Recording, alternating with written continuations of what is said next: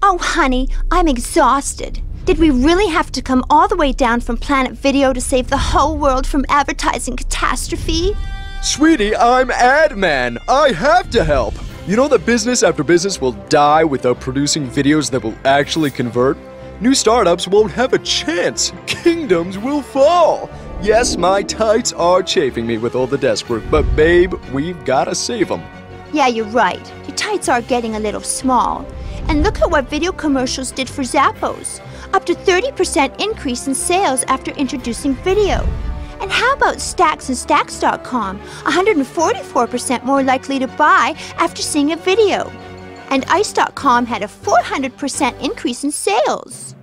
And mankind doesn't need x ray vision, their eyes are enough. The superpower is unleashed on mankind through the video itself. 90% of information transmitted to the brain is visual, and visuals are processed 60,000 times faster than text alone. In fact, 60 seconds of video is equivalent to 1.8 million words, which is why people stay two minutes longer on a site that has video. They're mesmerized. Well, hon, with all that power, it's a good thing we use it for good and not for evil.